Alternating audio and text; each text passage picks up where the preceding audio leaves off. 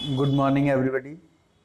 आप लोगों को आज मैं अपनी साइट पर कैसे ट्यूटोरियल को आपको लॉगिन करना है, कैसे उसे पढ़ना है, इसके बारे में बताने जा रहा हूँ।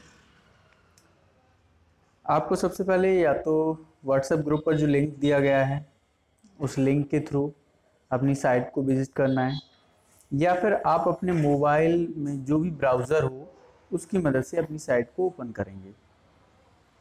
तो ब्राउज़र अमूमन सभी लोगों को पता होगा, या तो यूसी ब्राउज़र होगा, या क्रोम होगा, या फायरफॉक्स होगा। आपके मोबाइल में जो भी ब्राउज़र है, उसका आप उपयोग करिएगा। कोई भी ब्राउज़र हो।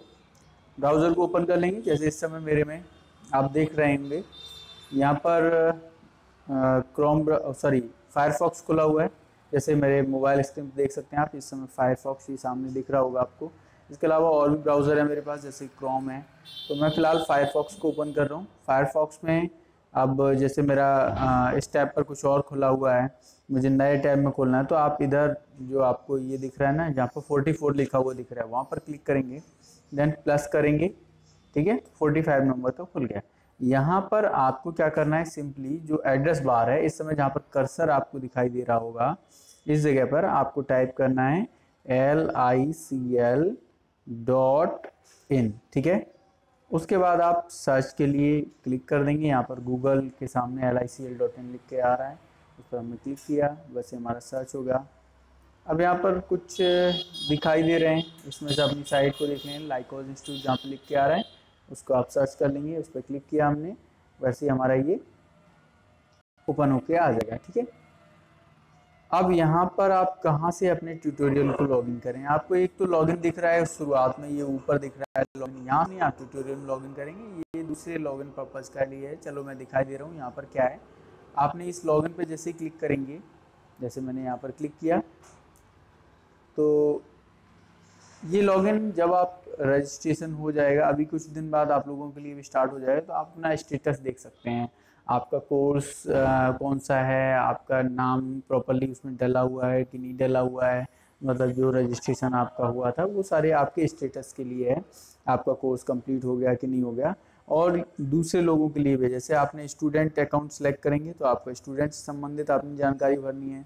बाकी अन्य जो यूज़र्स हैं, उनके लिए अलग तरीके की इन्फॉर्मेशन उनको भरनी होती है। तो फ़िलहाल ये आपको नहीं लॉगिन करना है, क्योंकि इसकी आपको आवश्यकता नहीं है।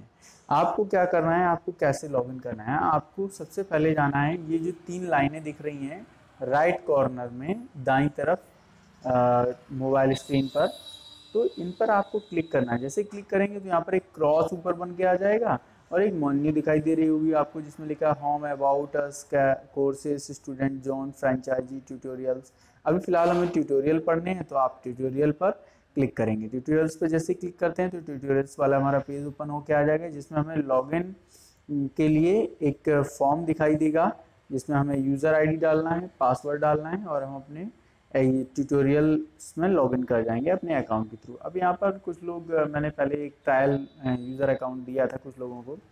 तो उनका ये कहना था कि, सर, इसमें कंप्यूटर फंडामेंटल से रिलेटेड ही खाली आ रहा है, बाकी सब में नॉट अवेलेबल दिखा रहा है। तो उसका एक रीज़न है, आप लोग जब इसे कंप्यूटर फंडामेंटल को कंप्लीट कर लेंगे, आपका एक टेस्ट लूँगा मैं कंप्यूटर फंडामेंटल का, जब वो ये सारी चीज़ें कंप्लीट हो जाएँगी, उसके बाद आपका वो भी पोर्शन इसी आईडी से खुलने लगेगा। आगे। लेकिन जब तक आप स्टडी नहीं करेंगे, तब तक वो आगे का पोर्शन आपको ओपन नहीं होगा। ठीक है? तो आपको सबसे पहले क्या करना है? आपको प्रॉपरली स्टडी करना है लॉगिन करने के बाद, और उसके बाद आप, उसका जो टेस्ट होगा, उसे आपको देना है, और टेस्ट जब आपका कंप्लीट हो जाएगा तो उसके बाद मैं आपके लिए आगे की, आगे का जो आपका वेबसाइट पर ही आपको आगे के पोर्शंस ओपन होने लगेंगे। ठीक है? तो आपको करना क्या है? सबसे पहले अपना यूज़र आईडी और पासवर्ड डालना है। अब आपको ये प्रॉब्लम होगी यूज़र आईडी सर कहाँ है हमारी और पासवर्ड क्या है? तो आपको मैं बता दूँ, आपको मोबाइल पर मैसेज गया होगा। मैंने जब यूज़र अकाउंट आपके क्रिएट किए थे तो आप लोगों को वो ऑटोमेटिकली वेबसाइट से मैसेज गया होगा। और अगर जिन लोगों को मैसेज बाई चांस नहीं मिला है और एक और चीज़, आपको मैसेज उन्हीं नंबर पर गया होगा जिन जो नंबर आपने व्हाट्सएप पर हमसे कांटेक्ट किया है, जिन नंबर से। क्योंकि उन्हीं नंबर का यूज़ किया है मैंने वहाँ पर यूज़र अकाउंट के लिए। तो आप उन्हीं नंबर्स पर देखिएगा मैसेज आए होंगे। अगर जिनके पास नहीं आया किसी कारण बस तो वो लोग मुझे व्हाट्सएप पर आ, बोल दें सर मेरे पास अभी यूज़र अकाउंट नहीं आया है लेकिन ग्रुप पर ना डालें। आप मुझे eight double zero six two two eight double zero six number पर व्हाट्सअप करेंगे। मतलब जिस नंबर आपको बताया था व्हाट्सअप करने के लिए उसी नंबर पर व्हाट्सअप करना है। और वहाँ पर आप बोल देंगे सर मेरा यूज़र आईडी और पासवर्ड अभी तक मुझे नहीं मिला है तो मैं आपको उस नंबर पर सेंड कर दूँगा। तो ये तो आपका यूज़र आईडी और पासवर्ड की बात हो गई। अब आप लॉगिन कैसे करेंगे? यहाँ पर मैं एक बच्चे के अकाउंट से लॉगिन करके दिखा रहा हूँ। डेमो अकाउंट है। आ, उसके लिए मैंने यहाँ पर उसका यूज़र आईडी डाला। उस बच्चे का यूज़र आईडी डालने के बाद मैंने यहाँ पर पासवर्ड इंटर किया। अमूमन सभी लोगों का पासवर्ड लगभग सेम है बट थोड़ा सा डिफरेंट है प्रत्येक व्यक्ति का, क्योंकि एक जैसा नहीं रख सकते हैं। तो डिफरेंट है और यूज़र आईडी तो बिल्कुल भी डिफरेंट है तो आप अपना पासवर्ड और आईडी ज़रूर याद रखें। ठीक है? उसके बाद आपको क्या करना है? लॉगिन बटन पे जब यूज़र आईडी पासवर्ड डालते हैं उसके बाद आपको लॉगिन बटन पे क्लिक करना है। लॉगिन पे जब आप क्लिक कर देंगे तो आपका यूज़र अकाउंट लॉगिन हो जाएगा, जैसा कि आप यहाँ पर देख पा रहे हैं। आपका यूज़र अकाउंट लॉगिन हो गया है, यहाँ पर आपका नाम डला हुआ है, जैसे ये लड़का है अजय पाल वेलकम अजय पाल लिखा हुआ है, और दूसरा आपका ट्यूटोरियल खुला हुआ है। देख सकते हैं कंप्यूटर फंडामेंटल यहाँ पर दिया गया है कि इस मॉड्यूल में हम क्या क्या चीज़ें सीखेंगे, और, यहाँ पर कंप्यूटर के बारे में दिया गया है। आपने जो पढ़ा है, वो भी है इसमें तो आपको एक और ये आसानी रहेगी कि समझने में क्योंकि वो चीज़ें आपको समझाई भी गई हैं, लेकिन उससे कुछ एडवांस लेवल का यहाँ पर आपको मिलेगा।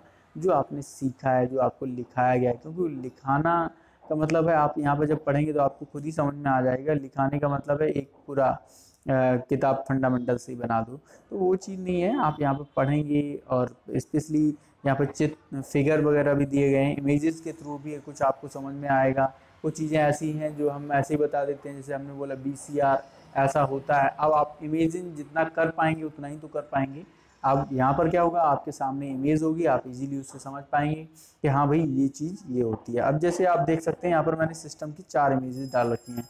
आप जूम करके देखेंगे अलग अलग चीज़ें आपको दिखाई देंगी। यहाँ पर कंप्यूटर सिस्टम में क्या क्या चीज़ें हैं? बेसिक चीज़ें जो फंडामेंटल जो चीज़ें हमें सामने दिखाई देती हैं, वो चीज़ें दिखाई गई हैं कि क्या क्या चीज़ें हमारे पास होती हैं। उसके बाद दूसरा फिगर है जिसमें CPU के अंदर क्या क्या चीज़ें होती हैं कौन कौन से हार्डवेयर पार्ट होते हैं, वो दिखाए गए हैं। Power supply system fan floppy है ना हार्ड डिस्क ये सारी चीज़ें आपको दिखाई गई हैं।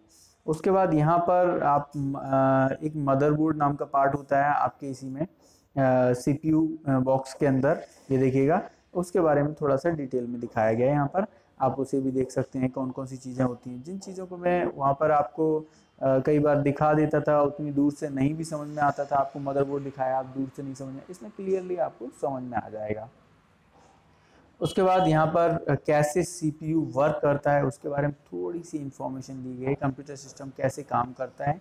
उसके बाद अगर, जब आप इसे पढ़ लेंगे, फिर आप नेक्स्ट पे क्लिक करेंगे तो आपका नेक्स्ट पेज ओपन होकर आ जाएगा।